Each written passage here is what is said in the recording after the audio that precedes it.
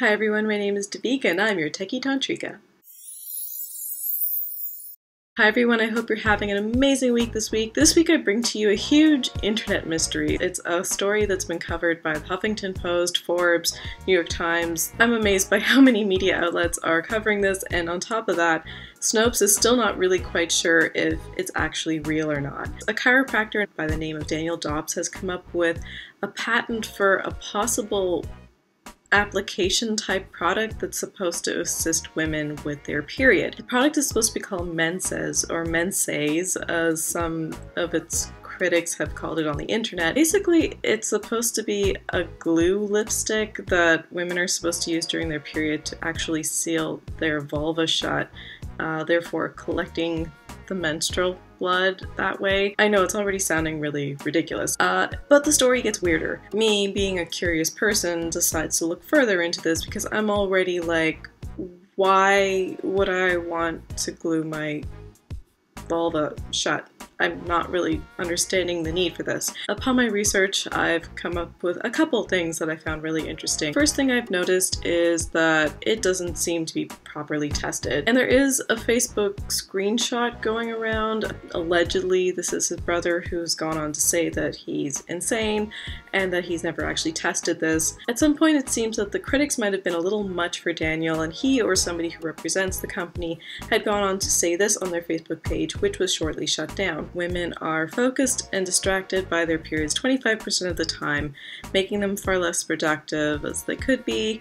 And he also goes on to say his dream is to have women free of the distractions, the psychological issues that goes along with their periods, as if to say that our periods scar us for life every month. I'm not exactly sure where he's going with this. He also goes on to shame women for not coming up with something better than diapers and plugs, and goes on to say that he feels that this wonderful product that he made will solve everything because apparently periods are that atrocious. It seals the vulva shut and then it's supposed to magically come undone when they go to the washroom, but somehow menstrual fluid isn't going to do that. So back to what I was saying earlier about Daniel not actually testing this on anybody or anything.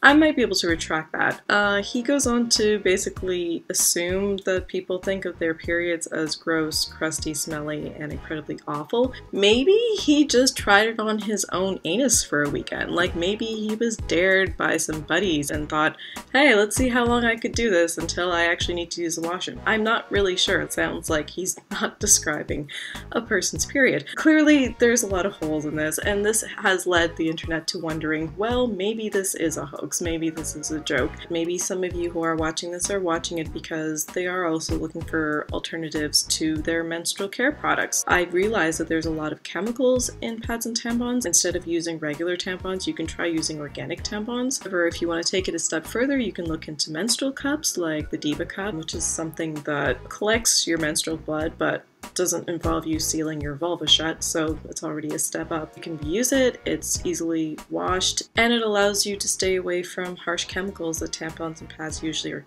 are made of. The other thing that I'm really excited about that I actually want to try and will likely order soon are Thinx underwear.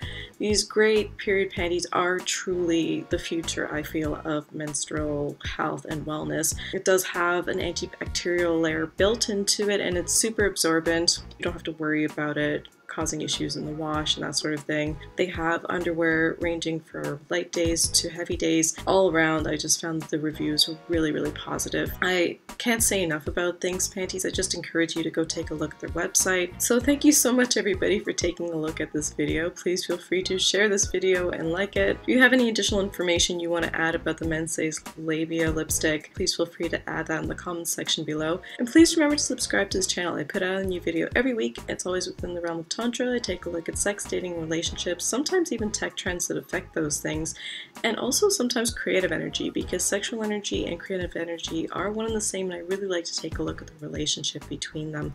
So thank you so much everyone and until next week, take care.